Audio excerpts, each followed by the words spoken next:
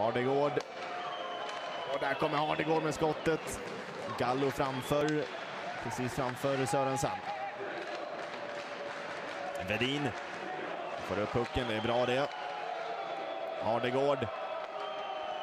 Letas skottalternativ och det kommer där! Vilken smäll!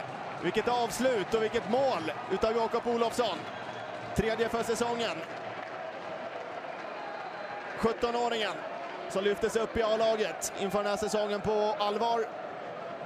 Presenterar sig i powerplay.